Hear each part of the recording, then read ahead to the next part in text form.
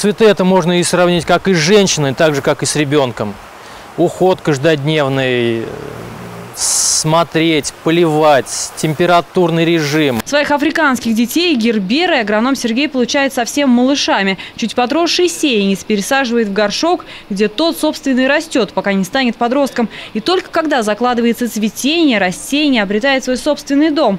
В прямом смысле. В этом тепличном хозяйстве на своеобразные дома принято разделять всю огромную плантацию. Сегодня здесь урожай уже собрали. То, что осталось, срезать еще оказывается рано. Вот эти вот лепестки еще загнуты внутрь. Цветок еще полуспелый. Потом дозреть сам в воде. Не всегда это получается, я вам честно скажу. С хризантемой может еще там как-то получиться, но с герберой не всегда это получается такой фокус.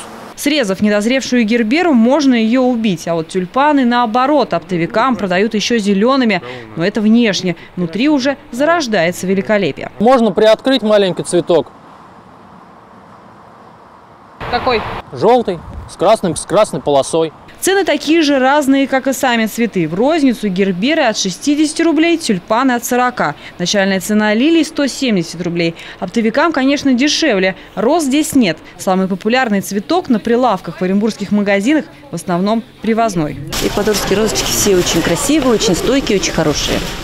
А вот. Что у нас есть еще кустовая роза, очень тоже пользуется спросом.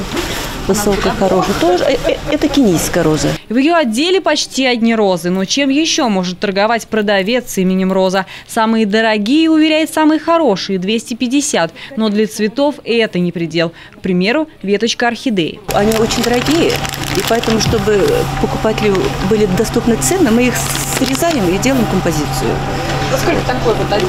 Ну, 3 тысячи, 3, 3 500. Это зависит от того, сколько здесь колокольчиков. Цены в этом году к 8 марта не подросли. Кризис сказался. Охапками цветы сейчас никто не берет, и о сверхприбыли продавцы даже не мечтают. Впрок закупили мимозы. 50 рублей за веточку. Самый экономичный вариант точно не подведет. Ольга Патрушева, Дмитрий Примачек. Наше время.